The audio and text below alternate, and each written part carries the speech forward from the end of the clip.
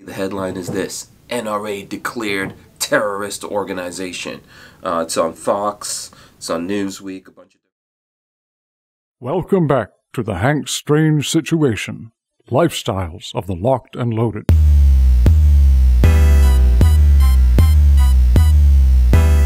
Alright, are you ready for this one? I'm gonna call this one in defense of the NRA. What? Yeah, I'm clickbaiting you a little bit. Check out the video. So, um, this is so funny, it's not even funny.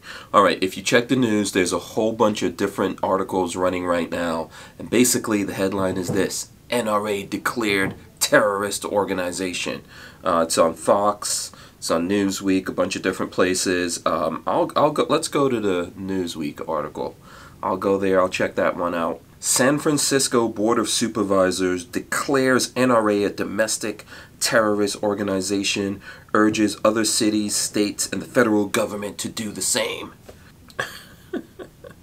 okay, San Francisco's legislative body has challenged other American cities and states to follow its lead and formally condemn the National Rifle Association, NRA.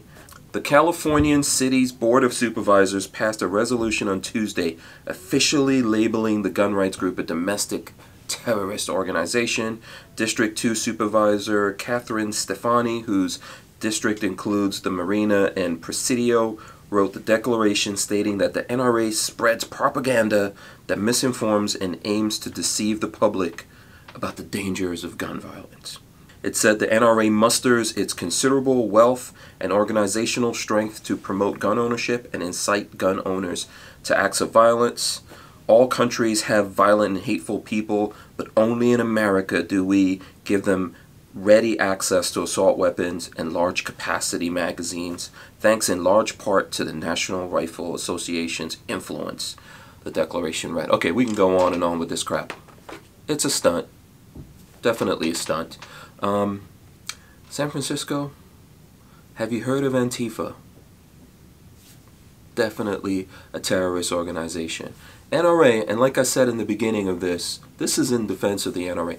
I'm no fan right now. I have been in the past, have supported them, given them my money. Of course, I believe in the Second Amendment. I'm an American.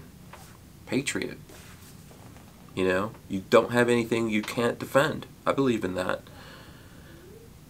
But lately, I've been really mad at the NRA. Lots of mismanagement, corruption, lots of bad things I think going on over there. Lots of distraction from the point right now. And that's why we're so wide open because the leaders at the NRA are focused more on themselves than what the true mission should be, for sure. But they're not a terrorist organization. They've never done anything to hurt anyone.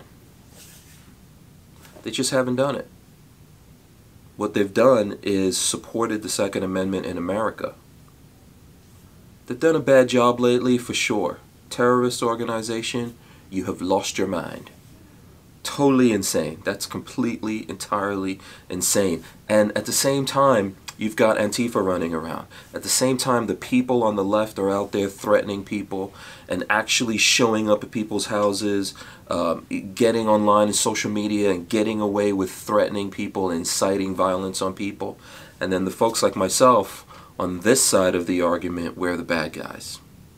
It's a little ridiculous, but it's indicative of the crazy, ridiculous world that we're living in right now. Um, I'm not going to make this a long video. It's not even worth it. It's kind of stupid, but hey, it's out there, and uh, I'm pretty sure the media is going to pick this up and run with it. But here's what I have to say. NRA, a lot of things, definitely not doing so good. Definitely not in all of our good books right now. But nowhere near a terrorist organization. Just might want to think about that. Get your priorities straight. The NRA is working hard for the people in your city as well so that they're able to defend themselves not only in your city but when they go anywhere in America. This is what the Second Amendment is about. Maybe you guys don't understand that. So maybe back in the day the King of England would have labeled the American patriots as terrorists for sure. I believe that. And what you're doing is that same thing. Obviously you intend on enslaving the people of the city of San Francisco. I believe that. That's what you guys are doing, right? You're not helping them. You're making things more difficult for the people in your city. You're making it harder for them to, to rely on themselves to defend themselves. You're taxing the living crap out of them, putting them in a police state. You're allowing actual terrorist organizations like Antifa to thrive within your city. There's so many homeless people, good, hard working people, people that have multiple jobs are homeless in your city because of what you guys have done. And now what you're doing is deflecting and calling other people terrorists. Shame on you. I think people see through your bullshit. I definitely do. Alright, like I said, I'm not going to go on and on here. I just wanted to throw this out, respond to this ridiculousness that's hitting the airwaves. You guys can tell me what you think about it. I, I think I have some idea of that. But you know, we got some people in here who hate freedom who believe in this kind of crap. Everyone's free to uh, drop their comment here. You know, we'll check it out. We'll hear what you have to say. Um, don't forget to subscribe here to the channel. Thumbs up. Also, ring the bell so you can be notified when we go live. And of course, you know what?